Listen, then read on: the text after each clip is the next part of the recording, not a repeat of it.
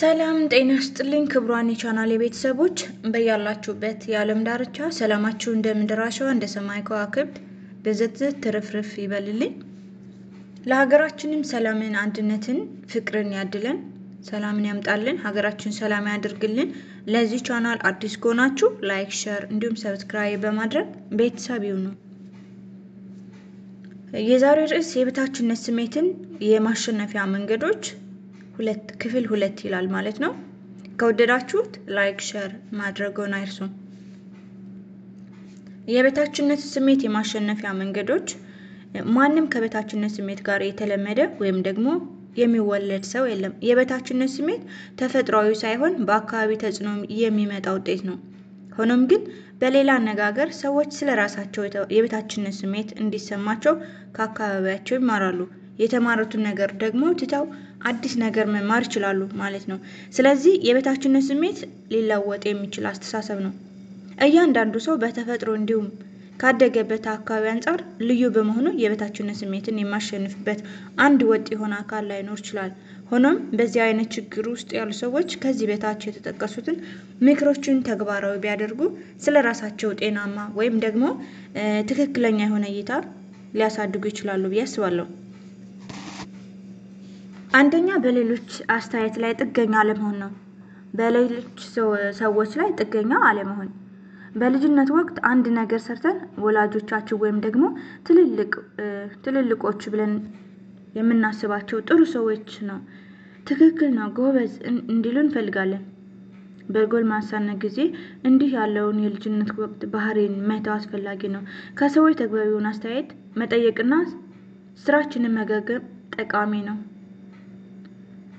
ሆኖም ግን በእነርሱ አስተያየት ላይ ጥገኛ መሆን ዞሮ ዞሮ ለራሳችን ያለን አመለካከት ይጎዳል። ሁለተኛ ራሳችንን ከአሉታዊ አስተሳሰቦች መለየት አለብን። ምክንያቱም በመሰረቱ በአእምሯችን ውስጥ ያሉ አስተሳሰቦች የእኛን ዋጋ አይገልጹም። እኛ ዋጋ ያለን ሰዎች በመሆናችን የሚለካው በእኛ ውስጥ ባለው አስተሳሰብ አይደለም።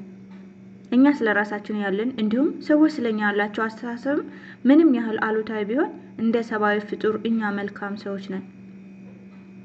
ስለዚህ በተሻለ መጠን ራሳችንን ወይም ደግሞ ማንነታችንን በአእምሯችን ውስጥ ከተማቸው ከተከማቸው አሉታዊ አስተሳሰብ መለየት አለብን። በሌላ አነጋገር በእነዚህ አሉታዊ አስተሳሰቦች ራሳችንን መመዘን ስንተው እነዚህ አስተሳሰቦች ኃይል ያጣሉ። በእርግጥ ከኛ ጋር ለረጅም ጊዜ የቆዩ ከሆነ ወይም ደግሞ ከሆኑ ከእነርሱ ጋር ዝምድና ስለፈጠረን በቀላሉና ቶሎ ላይሄዱ ወይም ደግሞ ላይለዩን ይችላሉ።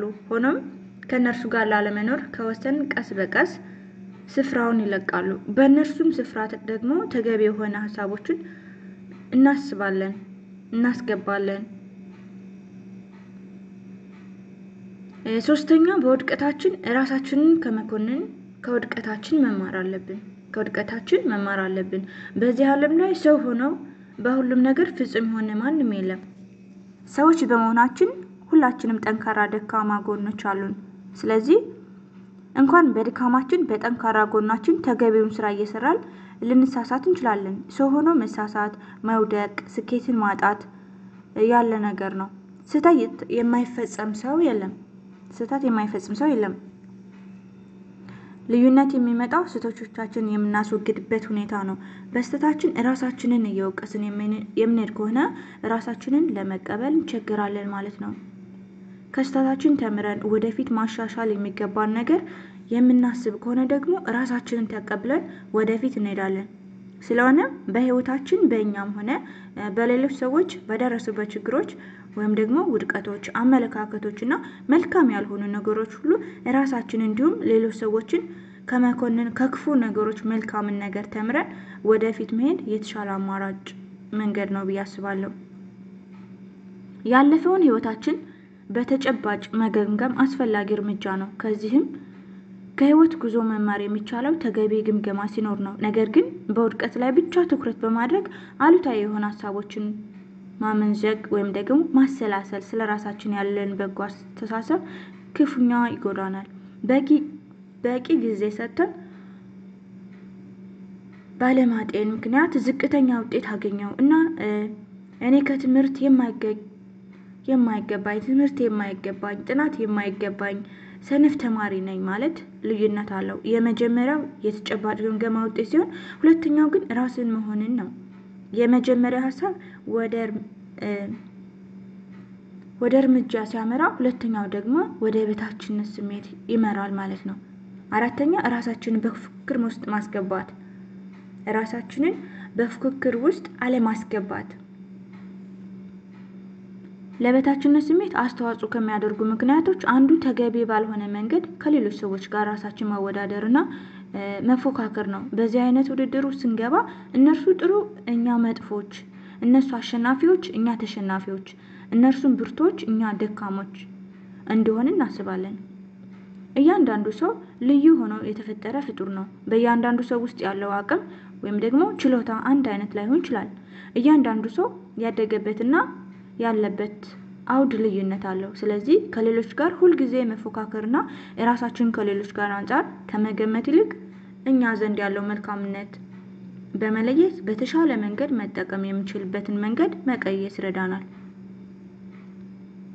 ከሌሎች ሰዎች ስኬት፣ ብርታት፣ መልካም ነገሮች፣ አሸናፊዎች ራሳችንን መልካም ቁም ነገሮችን መማር እንችላለን።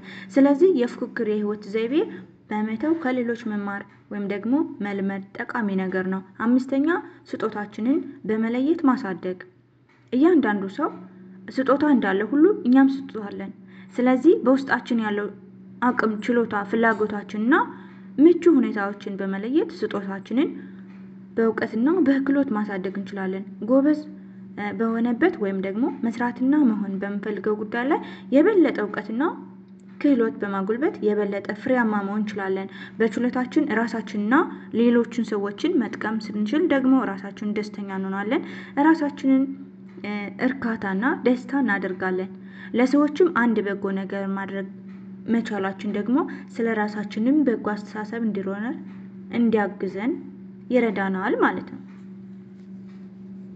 ውድ የቻናል ቤተሰቦች ለዛሬው በዚያ አበቃለሁኝ። ሰላማችሁ በያላችሁበት የዓለም ዳርቻ ብዝት ዝት ይበልልኝ።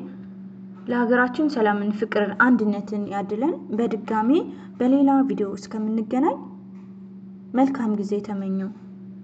like ማድረገውን አይርሱ። መልካም ጊዜና ቆይታ ይሁንልዎት።